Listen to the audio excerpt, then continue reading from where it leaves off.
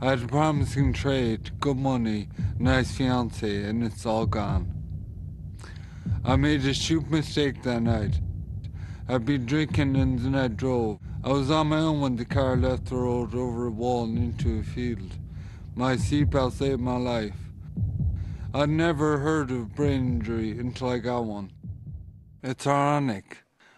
Drinking and driving did this to me, and now I look drunk all the time.